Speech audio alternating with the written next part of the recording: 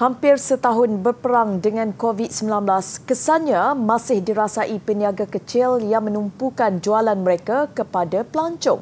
Di Alustar, Pekan Rabu yang menjadi tumpuan ramai, kini lengang tanpa pengunjung. Ia memaksa ramai peniaga menungkak dagu menanti rezeki. Menghimpunkan 350 peniaga, Pekan Rabu menawarkan pelbagai barangan industri kecil dan sederhana.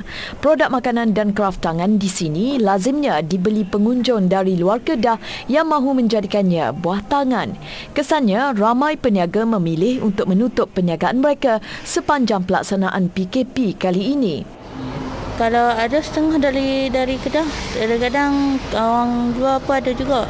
Ha kebanyakan yang duduk beli makanan yang macam mana? Makanan pekasam, uh, ikan kering. Uh, itulah kalau macam barang-barang macam tom yam apa tu pun kat kedai pada kan. Kalau macam tom yam pun uh, kat, uh, kat tempat lain pada kasam je lah yang tak ada.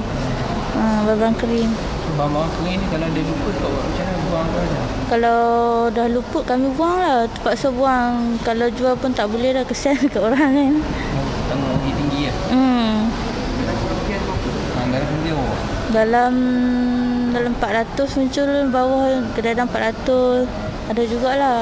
Okey lah ni macam cuti Chinese New Year. Selalunya kalau cuti Chinese New Year orang mesti full mesti ramai. Ha.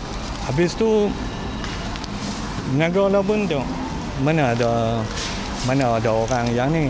Dengan kebanyakan dalam perkara bunyi pelancong yang di luar saja yang main beli barang kita di sini. Jadi kalau macam orang tempatan ni orang kata dia dia kurang sikit. Orang kita ni lebih suka pergi ke macam orang kata ke Kelantan, ke Terengganu, dia pun boleh tengok dia punya ni apa semua nak.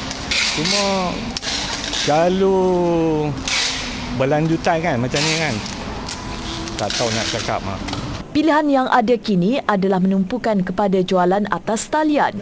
Harapan mereka adalah agar sokongan berterusan akan diperoleh dari orang ramai bagi membolehkan perniagaan mereka dapat terus dipertahankan.